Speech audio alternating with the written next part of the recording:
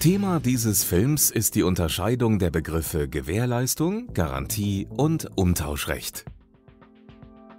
Die Gewährleistung, im Juristendeutsch auch Mängelhaftung genannt, ist im bürgerlichen Gesetzbuch festgelegt und besagt, dass ein Verkäufer gegenüber dem Kunden für fehlerhafte Ware haftet. Für Verbraucher bedeutet das, dass sie fehlerhafte Ware grundsätzlich bis zu 24 Monate nach dem Kauf reklamieren können, sofern der Fehler bereits bei Übergabe der Ware vorhanden war. Ab hier sehen Sie den Film im Schnelldurchlauf. Im Original haben die neu und hochwertig produzierten Schulfilme eine Länge von drei bis zehn Minuten.